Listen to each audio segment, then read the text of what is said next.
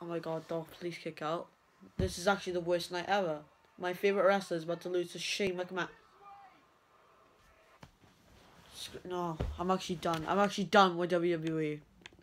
My favourite wrestler gets to the finals and loses to a guy who's in the bloody tournament because Miz pulled a muscle. Brock Lesnar has won the Universal title.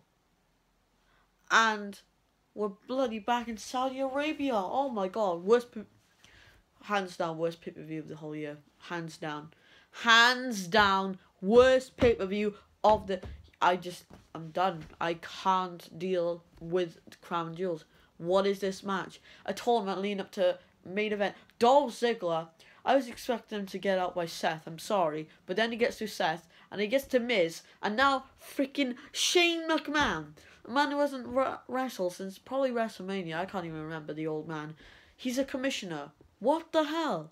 This is supposed to be Dolph Ziggler's time. I'm so angry. I am so freaking angry. Best in the world. My ass, bro.